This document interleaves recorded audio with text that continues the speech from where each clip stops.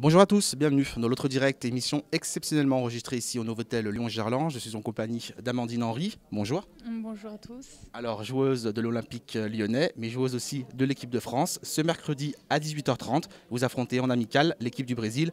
J'imagine que c'est un gros match qui vous attend et c'est un match que vous avez envie de jouer. Oui, bah forcément, ça rappelle, euh, c'est une grosse affiche et puis ça rappelle à tous de bons souvenirs euh, comme euh, la Coupe du Monde 98. Donc il y a beaucoup d'engouement à, travers ce match. Il y a cinq mois, vous avez affronté cette équipe du Brésil sur le score de 0 à 0. Vous retrouvez cette formation du Brésil. On imagine que vous souhaitez l'emporter surtout sur vos terres au stade de Gerland.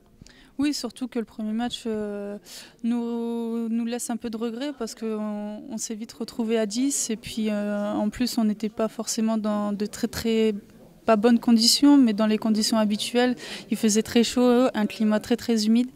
Et puis, euh, puis voilà, donc j'espère que cette fois-ci, ça sera le bon match pour l'équipe de France. Effectivement, parce que c'était en Guyane, donc il faisait effectivement très chaud. Aujourd'hui, sur Lyon, il pleut. Euh, mais justement, vous êtes de nombreuses joueuses de l'Olympique lyonnais.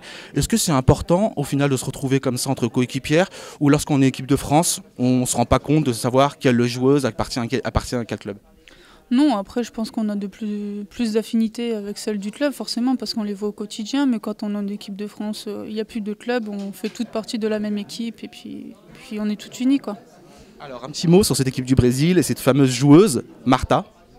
Oui, ben, on sait que c'est des, joueuses très techniques, euh, dont euh, un ballon d'or qui s'appelle Marta. C'est une joueuse complète qui a un peu de, qui a un peu de tout en fait, de vitesse, technique. Oui, donc euh, après, ça sera à nous de, montrer aussi qu'on est présente et surtout avec euh, nos jeunes joueuses qui sont, qui sont arrivées maintenant, euh, on verra comment ça se passera. Il y a un réel engouement, on le voit bien à Lyon ces dernières années, autour du football féminin. Lorsque l'équipe de France se déplace comme ça, dans l'Hexagone, est-ce que vous ressentez le même engouement? Est-ce que vous avez vraiment le sentiment que ça a pris de l'ampleur? Oui, bon, on le voit très bien, surtout sur euh, rien que des, matchs, euh, enfin des, entraînements. Il y, a, beaucoup de supporters, euh, tout le monde nous demande des autographes, on en est de plus en plus demandé par les médias. Il y a de plus en plus de, supporters aussi à nos matchs, donc ça nous fait plaisir et ça nous donne encore plus de motivation. Et ce type de match, même si c'est un match amical contre le Brésil, ça peut encore justement permettre de susciter l'engouement autour du football féminin en France? Oui, bah oui, forcément, puisqu'elles sont troisième mondiale, on est quatrième. Donc euh, on a à cœur aussi de montrer qu'on est présente. Et euh, bah, ça reste euh, aussi une belle affiche, France-Brésil. je pense qu'on a aussi de, très bonnes joueuses qui sont arrivées. On a fait un gros travail depuis quelques années. Donc maintenant, à nous de prouver. Pour ceux qui suivent justement le football féminin et cette équipe de France de loin, quelles sont vos ambitions? Nos ambitions, bah, c'était déjà dans un premier temps de se qualifier pour la Coupe du Monde, donc je pense que ça a été réussi. Ensuite, ben, forcément de se qualifier pour les JO, et puis pourquoi pas gagner cette Coupe du Monde. Donc de fortes ambitions avec un nouveau sélectionneur, Philippe Bergerot. Qu'est-ce qu'il a apporté à votre groupe? Euh, qu'est-ce qu'il nous a apporté? Ben, Il nous a apporté de la sérénité. Je pense qu'on a vraiment un, projet de jeu. Euh, on sait, toutes les joueuses qui rentrent ou qui intègrent le groupe savent exactement où se placer, comment faire, comment se, placer.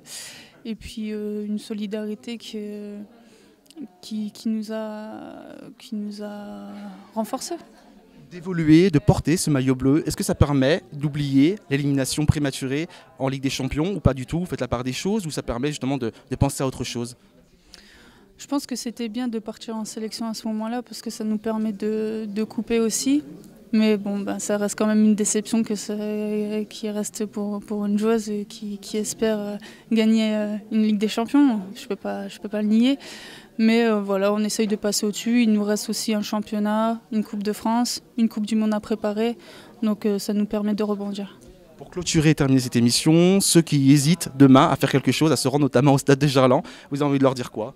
Ben, N'hésitez pas. Et puis, euh, je pense que France-Brésil, c'est mythique. Et puis, je pense que pour le football féminin, ça pourrait le devenir aussi. Merci beaucoup, Amandine Henry. Ben, de rien, merci à vous. Merci à tous de nous avoir suivis. Rendez-vous demain pour un nouveau numéro de l'autre direct.